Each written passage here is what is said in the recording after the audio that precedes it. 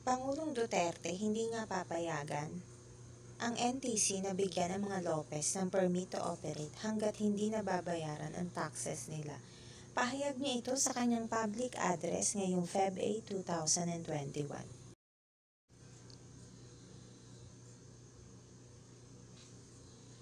Unless mabayaran ng Lopez ang taxes nila, I will ignore the franchise. I will not give them the license to operate. Kalokohan yan. Yan ang bahagi ng naging pahayag niya ukol sa issue ng muling pagbubukas ng franchise issue para sa ABS-CBN. Thank you for watching guys and kindly subscribe to this channel for more updates.